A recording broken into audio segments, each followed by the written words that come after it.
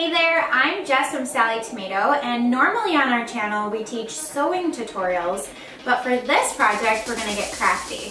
I'm going to walk you through the process of how we used faux leather fabric to create a woven fabric headboard.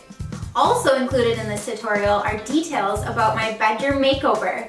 So I wanted this headboard to become the focal point of the room, so I painted and decorated to bring the entire look together. This is a no-sew project which can be completed in a few evenings or a weekend. I was inspired by a piece that I saw on Pottery Barn but was completely shocked by the price tag. I knew that I could make my own for a fraction of the cost and share the process with you so that way you could make your own too. So first let's start by figuring out the dimensions, the finished dimensions of the headboard that you're going to be making. Then I'll walk you through the materials that you need and then dive into the process and the tutorial of how to make this fun project. So the finished size of your headboard will be 25 inches high by the width of your bed. And I've created the dimensions for all standard size beds, so whatever size bed you have, you should be able to follow along and make it custom for you. So let's dive into the materials that you'll need for this project. You'll need three 8 foot 2 by 2 boards.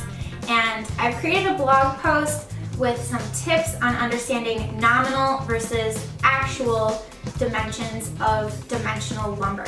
So I am a novice when it comes to woodworking, so I had my husband Mitch help me with this project and he helped me purchase the wood. So we chose to go with a red oak. You could certainly choose whatever kind of lumber that you want. Pine is definitely more economical, but you might have to put in some more time into the finishing work since pine is generally a rough cut um, type of wood and you might have to do some more sanding to that. Also, you want to make sure that your boards are not bowed. You want straight boards for this project. Other supplies you'll need are wood stain, either a manual or electric staple gun, and a rotary cutter, ruler, cutting mat, and of course, some faux leather, or you can even use cork fabric. So I figured out the yardage that you'll need for each size of bed and it's all determined for non-directional fabric that's 25 inches wide. So I've put a link in the description below to a free download and tutorial instructions for this project. So you have all the details in one spot. All right, I'm sure you're eager to get started. Since I did a bedroom makeover, in addition to the headboard, we're gonna start with the paint then I'm gonna walk you through the process on how we built the frame, marked the positioning for our strips, and then attaching the strips to the frame, and then also mounting the frame to the wall. This headboard is mounted to the wall. It doesn't connect to your frame of your bed. And then I'll show you some extra details that I added to bring the entire look together. So I hope you enjoy. So it's painting day. Today I'm going to be painting an accent wall in my bedroom. So right here I chose a color that I thought would make the headboard really pop and I actually chose black. I've never painted black on the walls before even thought about going this dark um, but I have some really fun ideas for decorating and I think it will look really cool when it's done. So I'm gonna move away some furniture and get started. Okay, so I haven't managed to get very far. I'm gonna have to wait for Mitch, my husband, to get home because I managed to wedge the mattress in between the wall and underneath the bed. So, maybe I'll get started on the corners.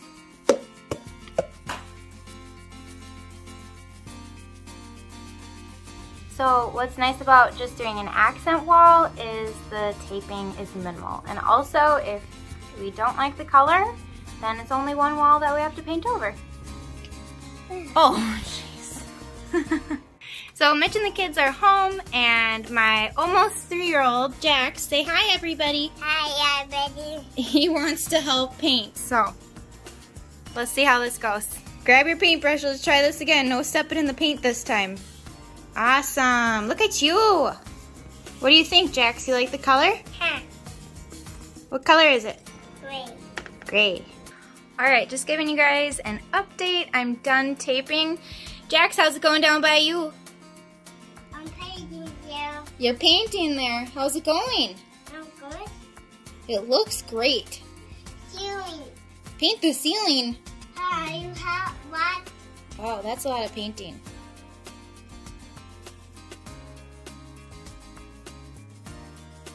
All right, let's go get you cleaned up. Uh, You did an awesome job. now I'm going back. All right, so it's a Thursday night and we just put our two boys to bed.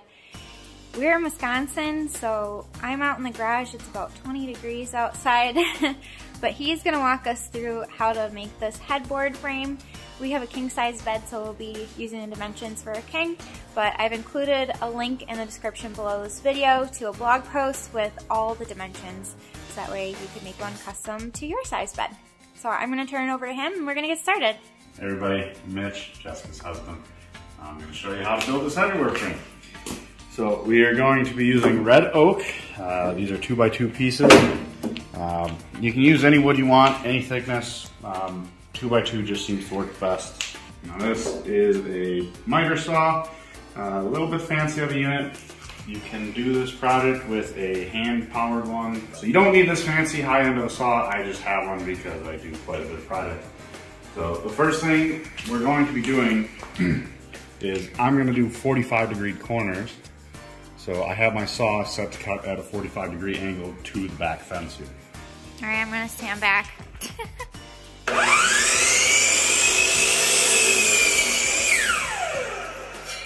Now that I have our starting point, we are going to be cutting all the measurements from the tallest edge.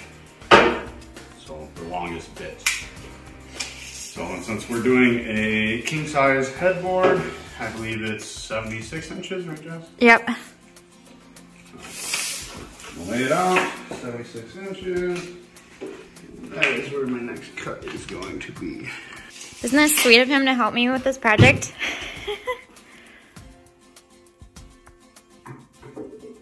I could do it. He's just faster at it.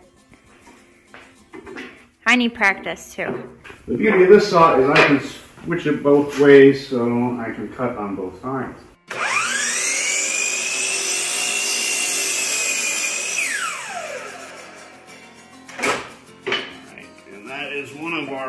Long pieces completed. Perfect. So then we're gonna cut another one of those and then two that are 25 inches high, right? Yes. Double check that I am spot on my measurements. Yes, I am.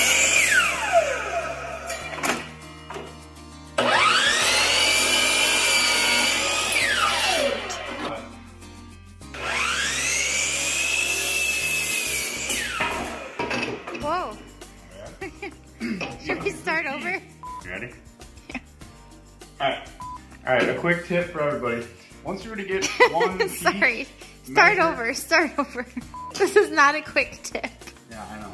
Alright, quick tip for everybody. Once you were to get one piece measured, cut both sides like that, and you already have this piece over here cut, to make it easier and make it so both your measurements line up, or both your pieces line up, you can just butt that end up to the other one and come over here and use this one as a mark.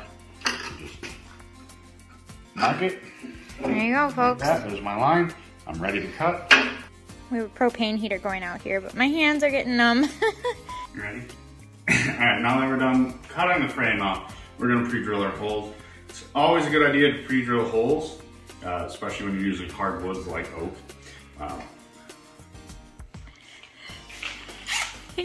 so this is a pre-drill with a countersink bit, so our screw heads will sit down below the surface of the wood. So that way they are not as noticeable. And we're gonna put them on the long pieces because this is gonna be the top and the bottom also, that way they're not easily seen. I'm essentially just trying to aim for the middle of the angle there. It can be as precise or as imprecise as you want.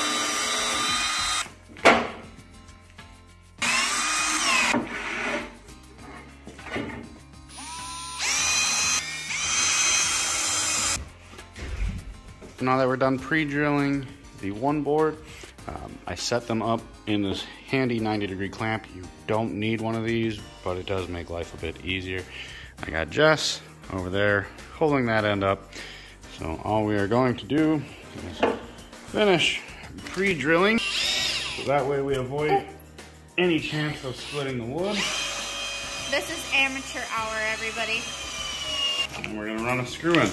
Uh, you could glue this joint if you wanted to, but seeing how this is gonna get mounted to the wall and studs anyways, one single screw in each corner is gonna hold it just fine.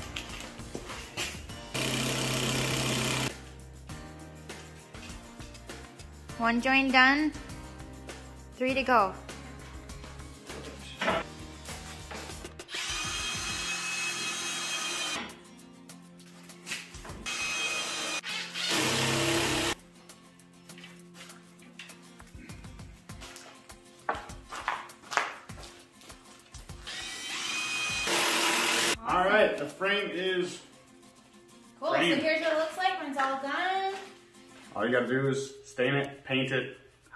Wanna finish it, and then Jess will show you the rest. All right, let's get started on adding the fabric. We're gonna go, I have picked out a couple faux leather choices. I'm gonna audition them in our room, so you could certainly get some samples, see how you like them with your paint colors and window treatments.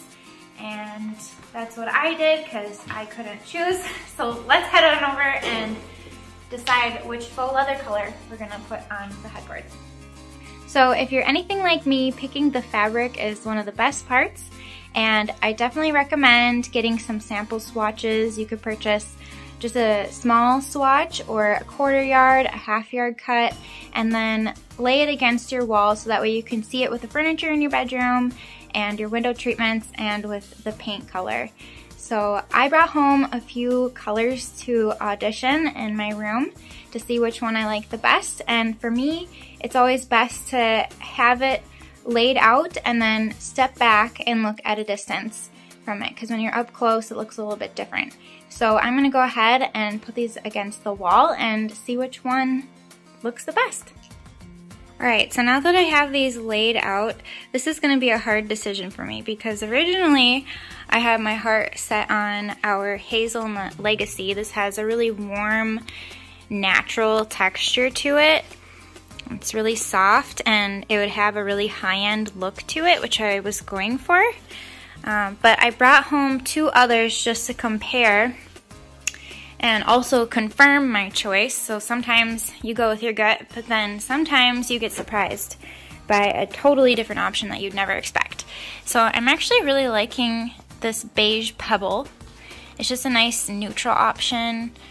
And then I also brought home our charcoal pebble because we have quite a bit of brown tones in our room already with the nightstands and I have a desk and then the woodwork. So I wasn't quite sure about the brown. So I think it's good. I brought these home to test out. So after I decide on a faux leather color, I'm gonna cut out my strips according to the pattern. And again, you can find the pattern on our blog and all the dimensions on how to cut it according to the size headboard that you're making. So I'm gonna go ahead and cut out my strips and then I'll show you how to attach them to the frame. All right, Buddy's here to help me tonight. so I've got all my strips of faux leather cut. I ended up choosing our brown pebble faux leather. I thought this went really nicely with the color scheme in our bedroom and it's a really nice warm color. And then also the backing on this faux leather is black, which is nice because then it looks good with our wall. So here I have our frame and all the strips cut. Again, I figured out all the measurements in the blog post depending on what size headboard that you're making, so definitely check that out. For the king size, I had to cut nine strips and for the horizontal, and then for the vertical strips, I had to cut 31, but you could probably get by with 30 strips. So I'm going to lay these all out, equally spacing them, and the corners of the wood are gonna show, so I'm gonna start my horizontal strips in line with the edge of the wood, and then once I place the vertical strips, those will begin in line with the inner edge of the wood as well. So I'm gonna pencil these out, and then we're gonna staple them to the headboard. So here I've positioned the frame with the wrong side up, and I have nine of my horizontal strips laid out.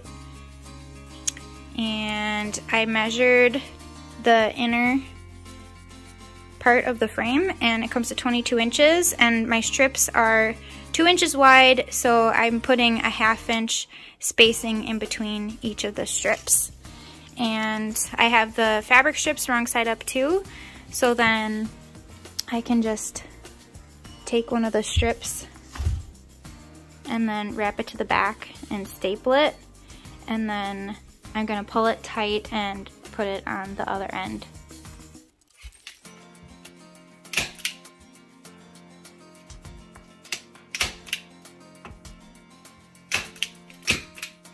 Are you holding it down tight, Jax? Hmm. Do it. Good job, Jackson. So now on this other end, we replicated the measurements and then we're pulling it tight and wrapping it around and then we can just trim off the excess. So you want to pull it tight so it's nice and taut, but you don't want it too tight that it causes your faux leather to stretch and curl. All right, so Mitch is working on stapling the vertical strips. So we measured everything out. We started a half inch away from the inner edge of the wood and then they're all spaced a half inch apart. So luckily the math worked out perfectly and so he's stapling them all to one edge and then we're gonna weave them and pull them tight and staple them to the opposite side. And then obviously we're gonna trim up the extra pieces. So it's turning out so cool.